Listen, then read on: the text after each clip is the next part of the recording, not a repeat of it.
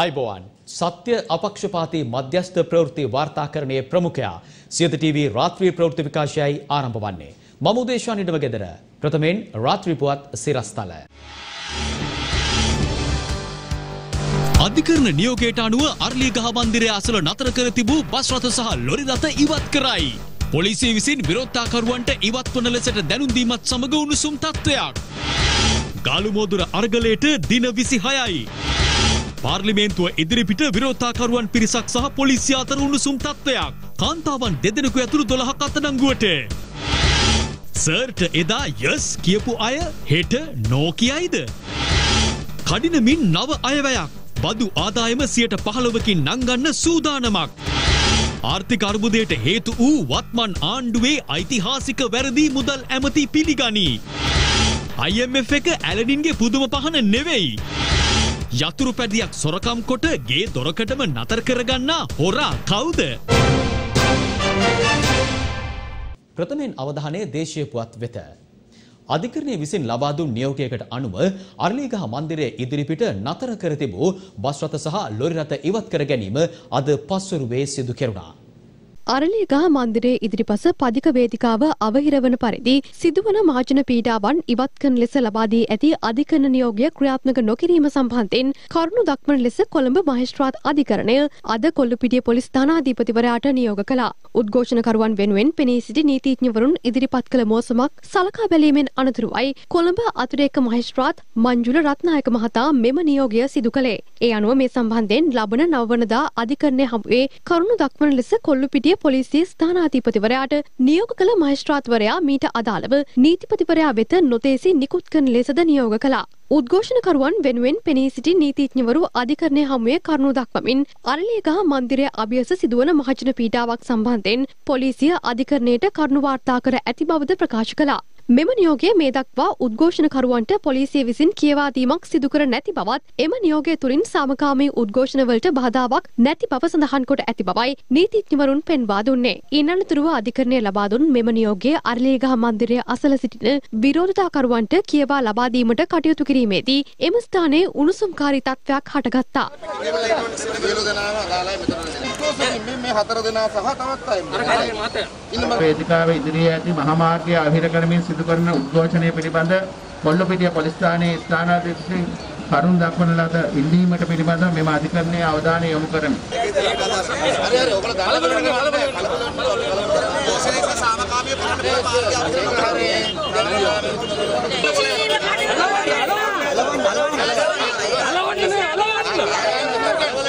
ඔයාලත් මිනිස්සු අපිත් මිනිස්සු ඒක නිසා නියෝගය දුන්න බැරිද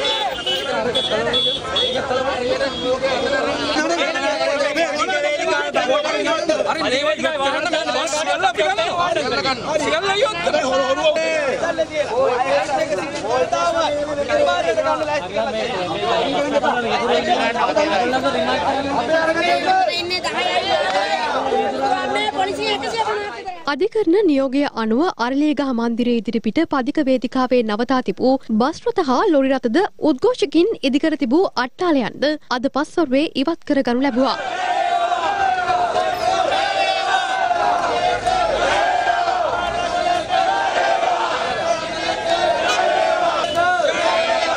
ජනතාවට අවහිරවන පරිදි අරලේගහ මන්දිරයේ ඉදිරිපිට ඇති රථවාහන හා සීලු දේපල ඉවත් කරගන්නා ලෙසටයි කොටුව මහේස්ත්‍රාත් අධිකරණය නියෝග කර තිබුණේ.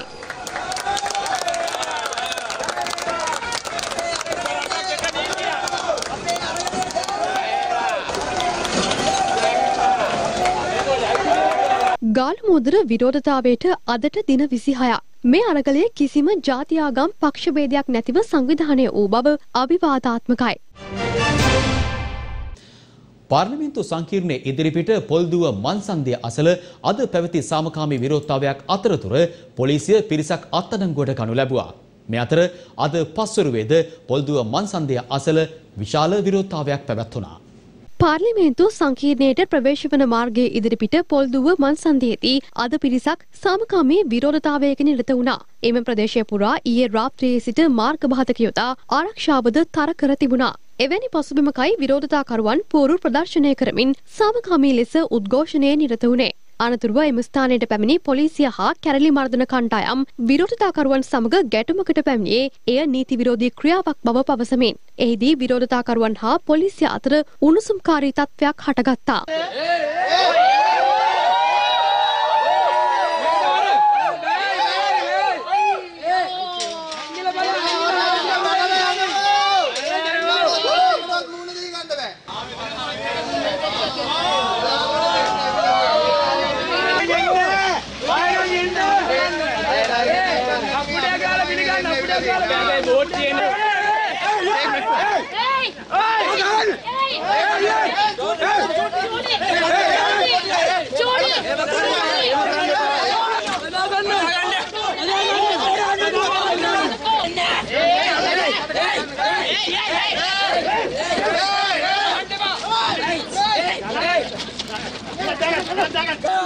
ඕගොල්ලොත් මතක තියාගන්න.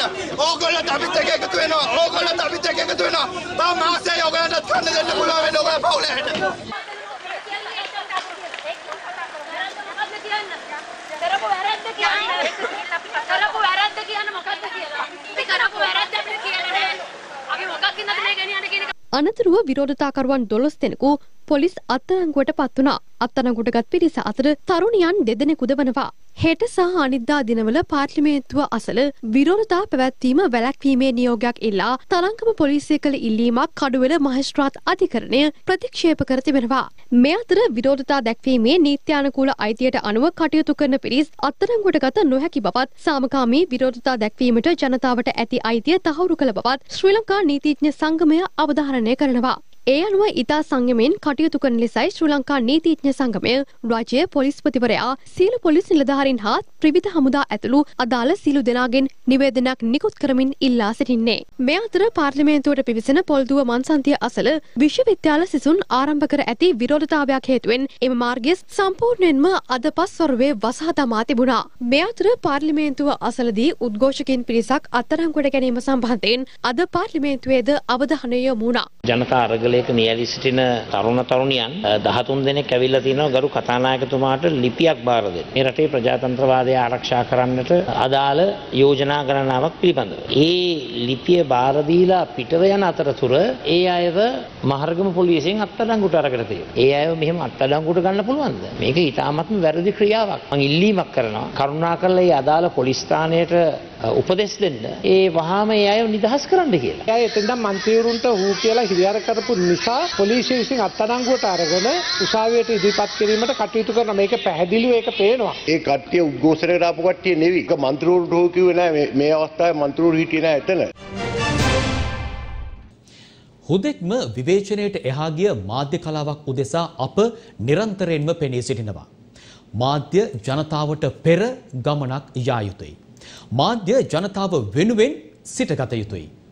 අපේ රට මුහුණ දෙන අරුබුදයෙන් ගොඩ එන්න පාර්ලිමේන්තුවටත් ඉහළින් බුද්ධි මණ්ඩලයක් වහ පත් කළ යුතු බවයි අපගේ විශ්වාසය. ඒ වගේම වහාම ජාත්‍යන්තර මානුෂීය ආධාර සමුළුවක් අපේ රට වෙනුවෙන් කැඳවන්න පුළුවන් නම් අපේ රට විශාලා මහනුවරක් වීමෙන් වළකා ගන්න පුළුවන් වේවි. ඊයේ ජනමාධ්‍ය නිදහස පිළිබඳ ජාත්‍යන්තර දිනය. අපි මේ යෝජනාව තුළ ජාත්‍යන්තර මාධ්‍ය නිදහස අර්ථවත් කරන බව කිව යුතුමයි. මෙම ප්‍රවෘත්තිය අප ඊයේ සවස 6ට විකාශය කළා. අප මේ ප්‍රවෘත්තිය විකාශය කිරීමෙන් අනතුරුව අද පැවති පාර්ලිමේන්තු සැසිවාරයේදී පවා මේ පිළිබඳව විවාදයට ගැනුණා. අද එය යළිත් අප විකාශය කරන්නේ මේ ප්‍රවෘත්තියේ ඇති ඊතා වටිනා වැදගත්කම නිසායි. සෑම විටම විවේචනය හරි පහසුයි. විවේචනයේ සේම විසඳමුකුත් තිබිය යුතුයි. මේ රට ඩොල බිලියන පණහක් ණයයි. පොඩි පහේ ණයක් නෙවෙයි. මේ මහා ණයකන්දරාව කවදාවත් මේ යන විදිහට ගෙවන්න බැහැ. එකපාරට ගෙවනවතියා හිතාගන්නත් බැහැ. දැනට අප සන්තක වැත්තේ ඩොල මිලියන දෙසීයයි. මේකත් ඇත්තටම තියෙනවද දන්නේ නැහැ. ඩොල මිලියන දෙසීය තෙල් නැව් හත අටකට විතරක් ඇති. මොකද තෙල් නැවකුත් ඩොල මිලියන හතලිස් අටක් විතර වෙනවා. මැයි මාසය අගවන විට ඩොල බිලියන එකක් නයවාරිකයක් ගෙවන්න තියෙනවා. මේ අවුරුද්ධ අග වෙනකොට ඩොල බිලියන පහක නයවාරික ගෙවන්න ඕනේ. එවන් පසුබිමක තමයි අපේ රට තියෙන්නේ. IMF ගියාට ගිය සැනින් ණය ප්‍රතිව්‍යුහගත කරන්නේ නැහැ. ඒකට අපි යන්නත් හොඳටම පමා වුණා. ඒ සඳහා තව කාලයක් ගත වේවි. ඒක දිග වැඩක්. ලෝක බැංකුව ඇතුළු බැංකුවලින් ණය ඉල්ලූ ගමන් දෙන්නෙත් නැහැ. විශේෂයෙන් අපට ණය ගෙවන්න බැහැ කියලා අප පසුගිය මාසයේ ප්‍රකාශයට පත් කළා. එනිසා අද අප ඉන්නේ ණය ශ්‍රේණිගත කිරීම්වල පහළම තැන. ආයේ වැටෙන්න තැනක් නැහැ දැන්. ඒ කියන්නේ බංකොලොත් රටක් බංකොලොත් රාජ්‍යයක්. උද්ධමනය ගත්තෝ ජොන් හොප්කින්සන් විශ්වවිද්‍යාලයට අනුව ලෝකේ උද්ධමනය වැඩිම රටවල් තුනෙන් එකක්.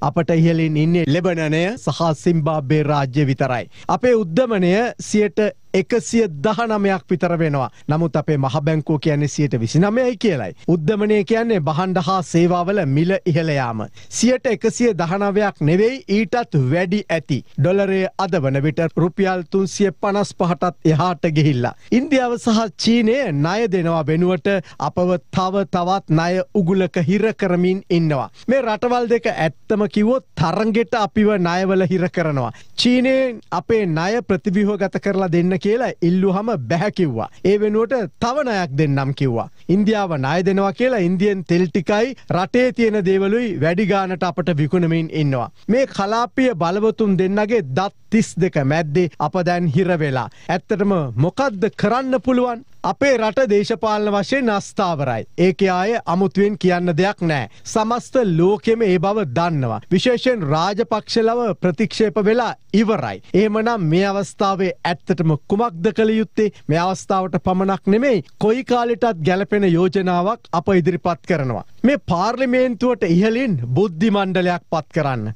අප මේ කියන නම් අපේ පෞද්ගලික හිතවත් මිත්‍රකම්වලට අදාළ දේවල් නෙවෙයි. මේ අප දකින ඇහෙන කාරණාත් එක්ක යෝජනා කරන නම් කීපයක්. මීට වෙන බුද්ධිමත් නම් තියෙන්න පුළුවන්. ඒවා ඇතුල් කරගන්න මේක හුදෙක් යෝජනාවක් විතරයි. මේ බුද්ධි මණ්ඩලයට ඒ කියන්නේ පාර්ලිමේන්තුවටත් ඉහලින් සිටින බුද්ධි මණ්ඩලයට ඔය ආචාර්ය හර්ෂද සිල්වා ඩලස් අලහප්පෙරුම අලි සබ්‍රේ නන්දලාල් වීරසිංහ මහාචාරය බුද්ධිමාරඹේ සුනිල් හඳුන් නෙත්ති රනිල් වික්‍රමසිංහ වනත් කමක් නෑ වෛද්‍ය ශේත්‍රයේ සඳහා විශේෂඥ වෛද්‍ය අනිල්ජාසිංහ වෛද්‍ය අමල් හර්ෂද සිල්වා මේ අපට මතක් වෙච්චි නම් කණ්ඩායමක් පත් කරගන්න විවිධ ශේත්‍ර සඳහා හැකියාව තියෙන බුද්ධිය තියෙන.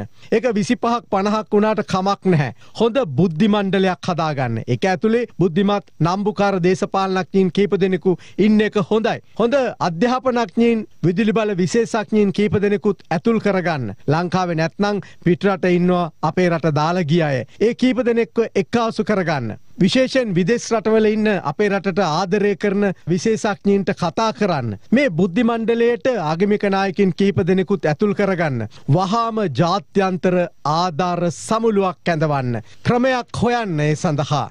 එවැනි ජාත්‍යන්තර ආධාර සමුළුවක් කැඳවලා අපේ රට ගැන ඇත්ත කියන්න. ආය හොරකම් කරන්න දෙන්නේ නෑ කියලා කියන්න. අවුරුදු පහක කෙටිකාලීන සහ දිගුකාලන සැලස්මක් හදන්න. මානුෂීය ආධාරත් ඉල්ලන්න. මේ ඩොලර් නායකන්දෙන් ගොඩ එන්න ජාත්‍යන්තරයත් එක්ක කඩිනම් විවෘත සංවාදයක් හදාගන්න. මේ බුද්ධි මණ්ඩලය පාර්ලිමේන්තුවට විතරක් නෙමෙයි ඔය විදායක ජනාධිපතිටත් ඉහලින් තියෙන ක්‍රමයක් ලෙස පවත්වගෙන යන්න. මේකට ශ්‍රේෂ්ඨාධික කරණය අග්‍රවිනිශ්්‍යකාරතුමාවත් ඇතුල් කරගන්න. ඇත්තටම අපට දැන් ඇත්තේ ඉදිරි මාස කිහිපය තුළ ජනතාව ජීවත් කරන ගමන් ඩොලර් හොයන ක්‍රමයක් හදාගන්න ඕනේ. ඩොලර් මේ රටේ ඔය රුපියල් පන්දහ ගැහ්ව වගේ අච්චුගහන්න බෑ. එනිසා ඩොලර් තියෙන ජාත්‍යන්තරයෙන් ඩොලර් අවශ්‍ය වෙනවා. ජාත්‍යන්තර ආධාර සමුළුවේදි කියන්න මේ රට හරි ලස්සනයි කියලා. දිය ඇලි තියෙනවා වනසිව්පාවුන් ඉන්නවා ගහකොල මුහුද ගංගා මෙසිියල්ල තියෙන ලස්සන රටක් කියන්න.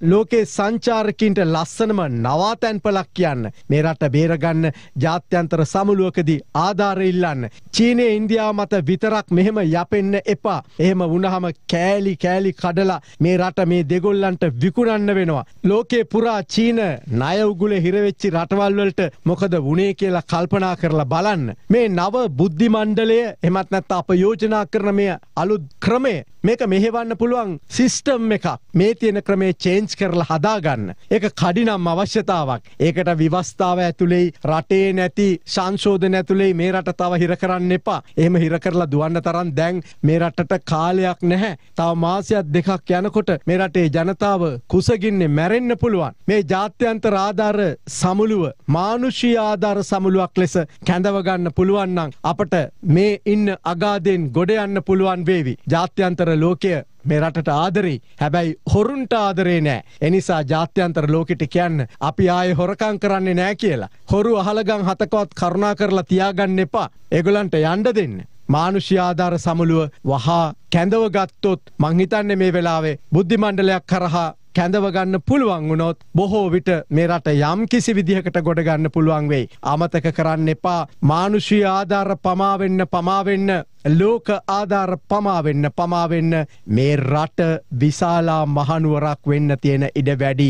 බොහෝ වෙලාවට අපි අපිම මරාගෙන විනාස වෙන්න පුළුවන් රටක් ඉතුරු කරලා ඔය හොර දේශපාලන නඩය පැනලා යන්න හදාවේ. එනිසා කරුණා කරලා රටට ආදරයේ තියෙන විශේෂඥයින්ට රටට ආදරයේ තියෙන හොරකං කරපු නැති දේශපාලනඥයින්ගෙන් අප ඉල්ලා සිටින්නේ බුද්ධි මණ්ඩලයක් හදාගන්න. ඒ බුද්ධි මණ්ඩලය හදාගෙන ඒ හරහා මානුෂ්‍යාදර සමුළුවක් හැඳවලා මේ අගාදයෙන් ගොඩ එන්න ක්‍රමයක් නිර්මාණය කරන්න කියලයි.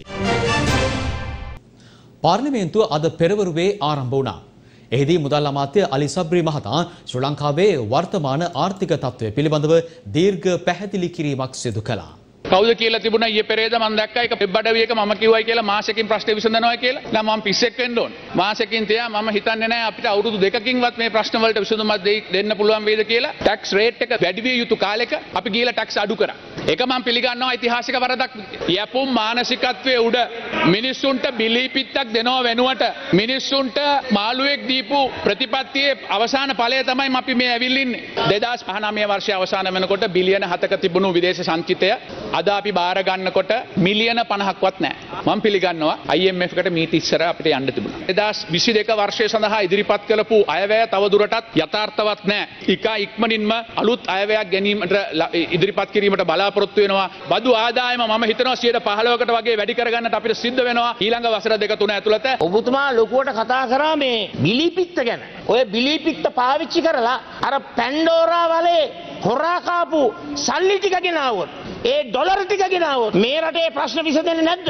එතකොට මේ එක එක පස්සේ හිඟා ගන්න යන්න ඕනේ ඉන්ටර්නැෂනල් ඩෝන කොන්ෆරන්ස් එකක් කැඳවන්න අපේ රටේ. අපි සූදානම් උදව් කරන්න. ජනාධිපතිවරයා ප්‍රමුඛ ආණ්ඩුව ගෙදර යන්න ඕන. අපි මේ බල තණ්හාවෙන් මේ අගමැතිකම් ගන්න, ජනාධිපතිකම් ගන්න, ඇමතියන් තට්ටු ගන්න එහෙම රුදාවක් නැහැ. විශ්වාස භංග යෝජනා දෙකට හෙට දවසේ අපි ඒක ක්‍රියාත්මක කරමු. තටම තටම ඉන්න එපා. එතුමා කියනවා IMF එකට කලින් යන්න තිබ්බලු. ඒක ඓතිහාසික වැරද්දල්ලු ගියේ නැති එක. ඒව අපි කිව්වනේ අගමැතිතුමා. එදා සමන් දුන්න නම් ගරු අගමැතිතුමා අද අපේ රට බංකොලොත් නැහැ. ඩොලර් මිලියන 50ලු තියෙන අගමැතිතුමා. තෙල් නැවක්වත් බා ගන්න බෑනේ. ඒ කියන්නේ මේ රට බංකොලොත් බාවෙනුත් පල්ලහට වැටලා කියන එක අද මුදල් ඇමතිවරයා කියන්නේ. ගෝඨාභය රාජපක්ෂ මුලසුනේ තබාගෙන ගොඩනගන කිසිදු සර්වපාක්ෂික ආණ්ඩුවකින් මේකට ප්‍රතිඵල ලැබෙන්නේ නැහැ. ඔව් ඉවත් වෙනවා නම් අග්‍රාමාත්‍යවරු ඉවත් වෙනවා නම් පාර්ලිමේන්තුව තුළ යම් එකගතාවයකට අපි සූදානම්. දැන් ටෙලිවිෂන් ටෙලිවැකිය. ටෙලිවිෂන් ටෙලිවැකිය. අප දුප්පත් දුප්පත් නෙවෙයි නිවැරදි වචනය බංකොලොත් බංකොලොතුත් නෙමෙයි වඩාත්ම නිවැරදි වචනය බංකොලොත් වෙන්න ඉඩ හැරිය රටක්. අප ඊයේත් සඳහන් කළ පරිදි දැන් අතේ තියෙන්නේ ඩොල මිලියන පණහයිලු.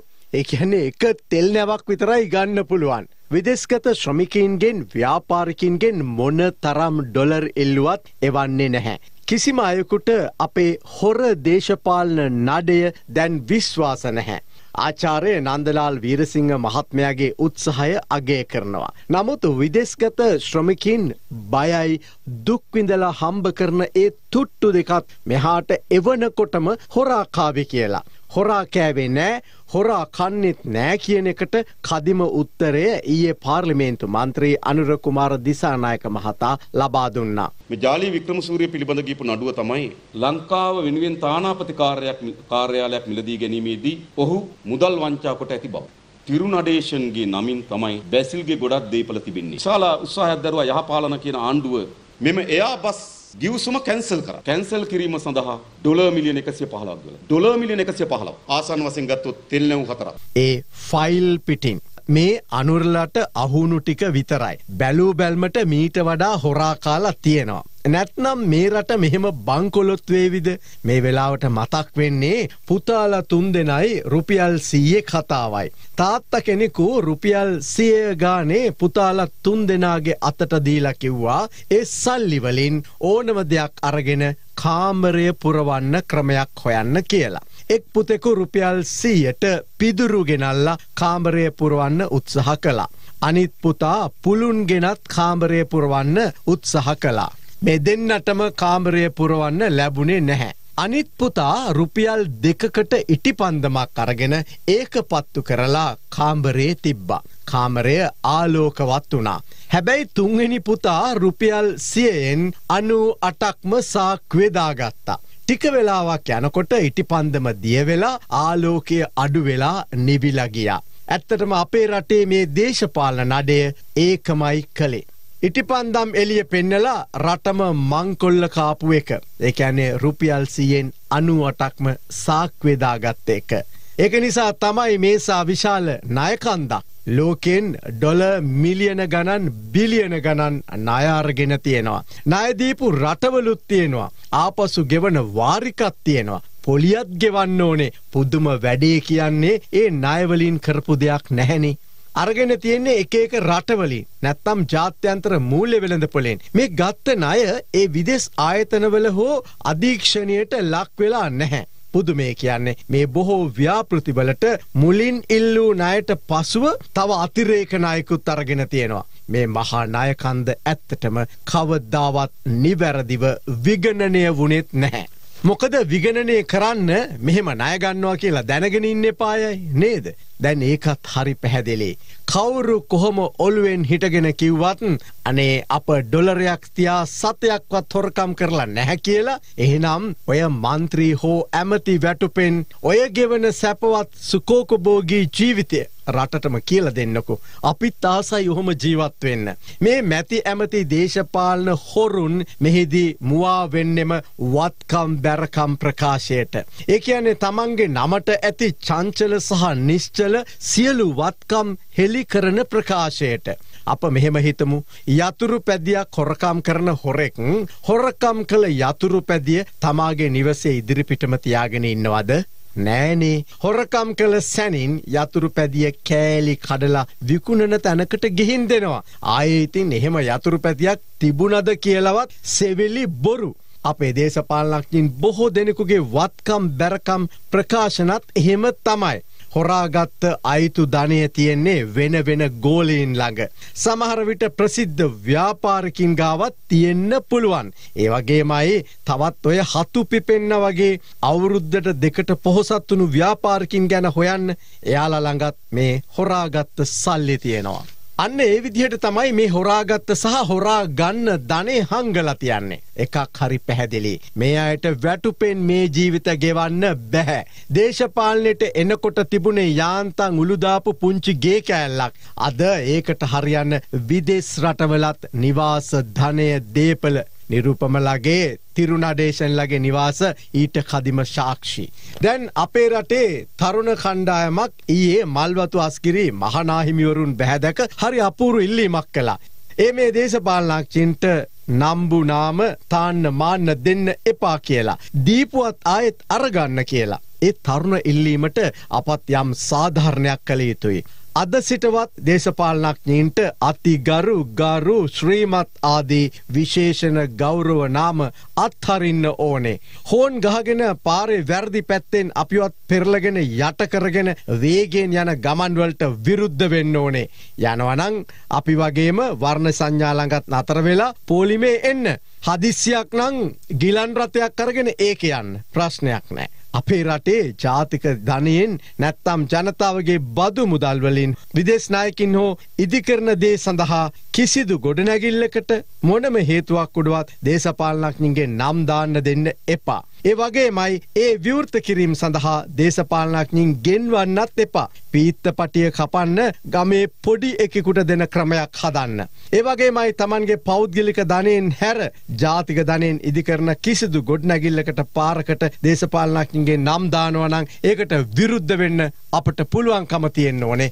අනාගතයේදී දාපු නම් ඉවත් කරන්නත් හැකි වෙන්නට ඕනේ. පාසැල් විහාරස්ථානවලට ඉතා වැදගත් උත්සව අවස්ථාවලට දේශපාලනඥයින්ව ගෙන්වන පුරුද්ද අතහරිමු. අඩුම ගානේ රට දිනපු ලොව දිනපු විද්වතෙක්ව ගෙන්න්න ගන්න. විශ්වවිද්‍යාල ආචාර්ය මහාචාර්වරයෙක්ව ගෙන්න්න ගන්න. එමත් නැත්තං ක්‍රීඩාවෙන් රටට නමක් ගෙනාපු කොල්ලෙක් කෙල්ලුකුට අවස්ථාව දෙන්න. ඒත් බැරි නම් අලුත් නිර්මාණ කරපු අලුත් නිපයුම් කරපු තරුණ තරුණයකට ඒ අවස්ථාව දෙන්න. එහෙම අයෙක්ව ගෙන්න්න ගන්න. ජනපති අගමැති තමන්ගේ පාසලේ ආදිශිෂ්‍යයෙන් වුණ පලියට ගෙන්න්න ගන්න එපා. මොකද යාලාහම පාසලට සමහරක් වෙලාවට ඒක අවනම්බුවක්. බොහෝ විට අනතුරක් කාපදාවක් වුණහම මාධ්‍ය අපද වාර්තා කරනවා ජනාධිපතිතුමා හෙමත් නැත්නම් අගමැතිතුමා හෙමත් නැත්නම් සෞඛ්‍ය ඇමතිතුමා විපතට පත් වූවන්ට වහා වෛද්‍ය ප්‍රතිකාර දෙන්න කියලා උපදෙස් දුන්න කියලා. රෝහලකට රෝගියෙක් ගෙනාවහම ආයි වෛද්‍යවරුන්ට ජනාධිපතිගවත් අගමැතිගවත් සෞඛ්‍යමතිගවත් උපදෙස්සෝ නෑ. ඕනම රෝගියකුට අපරාධකාරයකුට වෙඩි වැදිලා ගෙනාවත් වෛද්‍යවරු ඒ ජීවිතය බේරගන්න අවශ්‍ය නියම දේවල් නිසි වෙලාවට කරනවා. එනිසා මේ ඒ අයගේ උපදෙස් මත මේවා ක්‍රියාත්මක වෙනවා කියන ඒ සංකල්පය සහ ඒ වැරදි මතවාදයක් දැන් අයින් කරන්න කාලය ඇවිල්ලා. දේශපාලනක්කින්ගො පුම්බන එක ඒ අයට නැති ගෞරව දෙන එක වරප්‍රසාද දෙන එක දැන් නතර කරන්නම අප සටන් කළ යුතුයි. ඒ සඳහා රටක් ලෙස පක්ෂ ජාති පාට කුල ආගම් බේද නැතුව එකතු විය යුතු කාලය ඇවිල්ලා. දැන් ආයෙත් පරණ මැති ඇමතිවරුන් අලුත් ආණ්ඩුවක් හදාගන්න උත්සාහ කරනවා. අන්තර්වාර සභාග ආදී විවිධ නම්වලට මුවා වෙලා එකම කණ්ඩායම එහාට මෙහාට තනතුරු මාරු කරගන්නයි ආයෙත් උත්සාහ කරන්නේ. අවලස්සන අමරිකානුවා කියලා බැසිල් රාජපක්ෂට චෝදනා කළ අය වගේම රාජපක්ෂල එක්ක ආයේ ගනුදෙනු නෑ කිව්ව අයත් ගනුදෙනු අත ඇරලා නැහැ. දේශපාලනය කියන්නේ ගනුදෙනුවක්. දැන් කතාව හරි පැහැදිලි. අප පසුගිය මාසේ පුරාම රට මුහුණ දෙන අර්බුදය සඳහා සමාජය තුළම ඇති දේ විශ්ලේෂණය කරමින් විවිධ යෝජනා ඉදිරිපත් කරනවා. අප නිතරම සඳහන් කළේ සියලු ආණ්ඩු ණය අරගත් බවයි. එය අප හැඳුන් වූයේ ණය ණය ණය ණය ලෙසයි. අපේ රටේ ආදායම් වියදම් පරතරය සදා කාලිකෝම වැඩිවෙමින් පවතිනවා. සෑම අයවැයකදීම අයවැය පරතරේ වැඩි වුණා මිස අඩුවනේ නැහැ. අපනයන ආදායමට වඩා ආනයන වියදම ඉහලයි. බොහෝ ණය අරගෙන ආරම්භ කළ සමහර ව්‍යාපෘති නිෂ්පලයි. ණය සහ පොලිය විතරමයි. මේවා හැම ආණ්ඩුවක්ම අඩුවැඩි වශයෙන් කරලා තියෙනවා. විශාලම අපරාධේ සොරාකෑම දූෂණය සහ වංචාව. ඒකත් හැම ආණ්ඩුවක්ම අඩුවැඩි වශයෙන් කරලා තියෙනවා. ආයේ කතා දෙකක් නැහැ. කලක ග්‍රීක බොන්ඩ් ගැන කතා කරනකොට තව කලෙක මහබැංකු බැඳුම් කර හොරකම ගැන කතා කරනවා. පුදුමය කියන්නේ හැම මැතිවරණයකම ප්‍රධාන සටන් පාටය හොරකම දූෂණය වංචාව. විශේෂයෙන් ප්‍රධාන පක්ෂ දෙක මාරුවෙන් මාරුවට බලය ගන්නෙම බලය ගත්තෙම ඊට පෙර පැවති ආණ්ඩුව මහාදූෂණ වංචා කලා කියලා. ඊට පසු එයාලා බලය ගන්නවා. අල්ලගත්ත හොරෙකුත් නෑ හොයාගත්ත දූෂණයකුත් නෑ. ඇත්තම ගත්තහම ප්‍රධාන පක්ෂ දෙකම තම තමන්ටම හොරු කියා ගන්නවා. නමුත් ඒ කාවවත් හොරු හිරේදාලත් නෑ අල්ලලත් නෑ. දැන් මේ රට මේ මොහොතේ මුහුණ දෙන ආර්ථික දේශපාලන අර්බුදයටත් මේ ප්‍රධාන පක්ෂ දෙක සියට අනුවක් වගකිව යුතුයි. විවිධ අවස්ථාවල මුක්කු ගහපු අනිත් පක්ෂත් අඩු වැඩි වශයෙන් වග කියන්න ඕනේ. දැම් රටම ජනපති අගමැති ප්‍රමුඛ කණ්ඩායමට යන්න කියනවා. විපක්ෂනායක සජිත් ප්‍රේමදාස හොරු එක්ක ඩීල් නෑ කියනවා. දැන් අන්තර්වාර සභාග මොනෝහරි හදන්න හදනවා. සමාරු කියන්නේ අලුත් ආණ්ඩුවක් කියලයි. අලුත් නැහැ පර්ණයම තමයි. බලමු ආය එකතුවන කණ්ඩායම කෞද කියලා නිමල් සිරිපාල්ද සිල්වා බැසිල් රාජපක්ෂ උදය ගම්මම්පිල විමල් වීරවංශ වාසුදේව නානායක්කාර මහින්දානන්ද අලුත්ගමගේ ජොන්ස්ටන් ප්‍රනාන්දු මේ වගේ ආණ්ඩුව ආරම්භ කරන අවස්ථාවේ හිටපු මැති ඇමතිවරම තමයි මේ ආයේ කැරකෙන්නේ. දැ මේ සියලු දෙනාම ආයේ සාකච්ඡා පවත්වනවා අන්තර්වාර හරි සභාග හරි සරුව පාක්ෂික හරි මොකක් හරි එකක් හදන්න. සරුව පාක්ෂික හදන්න ජාතික ජනබලවේගේ එන්නේ නැහැ. සජිත් ප්‍රේමදාසත් එන්නෙම නැහැ කියනවා. සජිත් ප්‍රේමදාස මහත්මයා මේ දවස්වල ඊට වඩා ජාතික ප්‍රශ්නයක් තියෙනවා ඒ රංජන් රාමනායක මහත්මාව හිරගෙදරින් මුදාගන්න එක. එනිසා එතුමා ඒකට සටන් කරනවා. දැන් කොහොම වනත් ආයේ කැරකිලා අර පරණ අය අතටමයි යන්නේ. ඒ කියන්නේ ආයෙත් ගම්මන් පිල්ලා වාසුලා විමල් වීරවංශලා දිනේශ් ගුණවර්ධන මේ හැමෝම තමයි ආයේ ඇමතිකම් බෙදාගෙන මේ රට කරන්න වෙන්නේ. අපට අහන්න තියෙන්නේ සරල ප්‍රශ්නයයි. අද පාර්ලිමේන්තුවේදී අලි සබ්රි ඇමතිතුමා කිව්වා ආණ්ඩුවට වැරදුනා කියලා. වැරදුන තීරණ ගත්තේ අපිද එහෙමත් නැත්නම් ජනපති ප්‍රමුඛ ඔය කණ්ඩායමද බලයට ආව ගමන් බදු සහනයක් දුන්නා. අහිමි වුණ මුදල කොච්චරද රුපියල් බිලියන හයසීයක් විතර. සීනිවල රුපියල් පණහේ බද්ධ සත විසි පහට අඩු කලා. එකැනි සීනි කිලෝවකින් රුපියල් හතලිස් නවයයි සත හැත්ත පහක් පාඩු කරගත්තා. සමස්ත පාඩුව රුපියල් බිලියන දාසයක් ඔය මහබැංකු වංචාවටත් වඩා ලොකුයි. රසායනික පොහොර සහ කෘෂි රසායනික එකරයකින් තහනම් කළා. මහකන්නේ විනාශ වුණා. දැන් යලකන්නේටත් කනකොකා හඬමින් ඉන්නවා. IMF යන්න පමා වුණා. අද අතේ සතේ නැති ගානට රට බංකොල්ලොත් වෙන තැනට වැටුණා. ඩොලරය රුපියල් දෙසිය තියකට ෆ්‍රීස් කලා එමත් නැත්තම් ස්ථාවර කරලත් තියාගෙන හිටියා. අද ඒකේ ප්‍රතිඵලය බුක්ති විඳෙනවා රුපියල හොඳටම අවප්‍රමාණ වෙලා ඩොලරය අද තුන්සිය පණහයි තුන්සිය හැටයි පාලනය කරගන්න බැරිතරමට ඉහළයාමෙන් තිබෙනවා. දැන් මේ සියලු තීන්දුවලට එදා ඔබ සියලු දෙනා ගෝටාබේ රාජපක්ෂ ස ළඟ එහෙමයි සර් කිව්වේ නැද්ද? යර්ස කිවේ නැද්ද? දැන් සර්ත් එක්ක ශ්‍රී ලංකා රාජ්‍යම ෆේල්නේ ඉතින් ආයෙත් ඔබ ටික දෙනාම මැති ඇමතිකම් මාරු කරගෙන මොන අන්තර්වාරයක් හරි ගහගෙන මේ රට ගොඩදාගන්නේ කොහොමද කියලා කියන්නකො. මේ රට ගොඩදාන්න කොච්චර අමාරුද කියලා අද අලිසබ්‍රි ඇමතිතුමා පාර්ලිමේන්තුවේදී කියපු මේ වචන ටිකම ප්‍රමාණවත්. කවුද කියලා තිබුණා ඊයේ පෙරේද මම දැක්කා ඒක වෙබ් අඩවියක මම කිව්වයි කියලා මාසෙකින් ප්‍රශ්න විසඳනවා කියලා. නම් මම පිස්සෙක් වෙන්න ඕන. මාසෙකින් තියා මම හිතන්නේ නැහැ අපිට අවුරුදු දෙකකින්වත් මේ ප්‍රශ්න වලට විසඳුමක් දෙන්න පුළුවන් වේද කියලා. ඒකයි අප පුන පුනා කියන්නේ ඔබ සියලු දෙනාම ගෝටාබේ රාජපක්ෂ බැසිල් රාජපක්ෂ මේ තීන්දු තීරණ ගන්නකොට එහෙමයි සර් කිව්වා. ඔබ අතරින් කවුරුත් මේ රාජපක්ෂලට විරුද්ධ වුණේ නැහැ. ඉතින් ආයේ අද කියලා අමුතු වෙනසක් නැහැනි. ආයේ ඇමතිකම් බෙදාගෙන වරප්‍රසාද අරගෙන කොහේ හෝ රටකින් ලැබෙන අවසන් ආධාර ටිකත් සමසේ බෙදාගෙන සභහතුමෝ සතුටින් විසිරගියහ කියලා තමයි අපට කනත්තේ ඉඳලා කියන්න වෙන්නේ. මනුදම් මෙහෙවර ලංකාවේ අපට දිරියක් වන අපේම මෙහෙයුම. මේ අභියෝගාත්මක කාලේ ලංකාවේ අපේම අය වෙනුවෙන් දිරියක් වන්නට ඩයිලොක් සමග සර්වෝදය මාස් හෝල්ඩිංස් හේමස් ආයතනය CBL සමූහය සහ PWC ශ්‍රී ලංකා එක්ව ඉදිරියටම ගමන් කරමින් සිටිනවා. හැමදාමත් වගේ ලෙංගතුකමෙන් ආදරයෙන් එක්ව අපි ජීවිත ජයගමු. මේ මනුදම් මෙහෙවරට සියත අපිත් මාධ්‍යදායකත්වය ලබා දෙනවා. පවතින ආර්ථික අර්බුද තත්ත්වය හමුවේ දැඩි ලෙස පීඩාවට පත් අපේම ජනතාව වෙනුවෙන් ක්‍රියාත්මක ඩයලොක් මනුදම් මෙහෙවර වැඩසටහනේ තවත් අදියරක් කළුතර දිශ්‍රික්කය කේන්ද්‍ර කරගනිමින් පැවැත්වුණා. ඩයලොග් ආසියාටා මාස් හෝල්ඩිංස් හේමස් ආයතනය CBL සමූහය සර්වෝධ ශ්‍රමදාන ව්‍යාපාරය සහ PWC ශ්‍රී ලංකා එකමුතුවෙනුයි මෙම මනුදම් මෙහෙවර ක්‍රියාත්මක කරනු ලබන්නේ.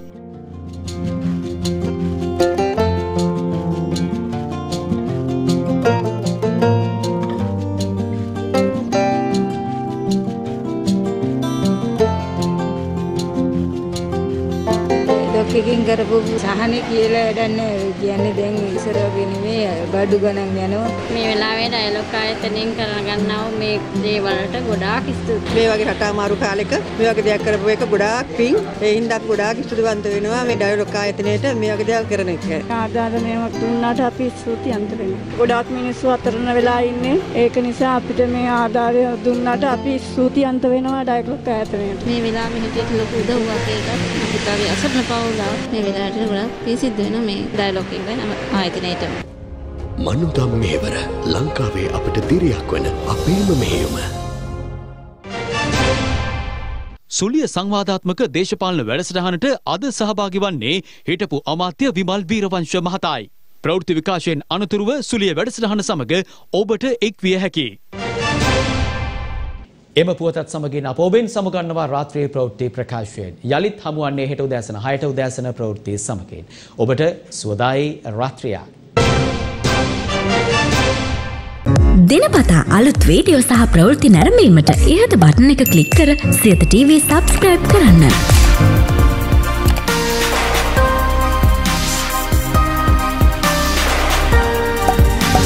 වීඩියෝ ගැන මුලින්ම දැනගන්න මෙම සීනුව ක්ලික් කරන්න.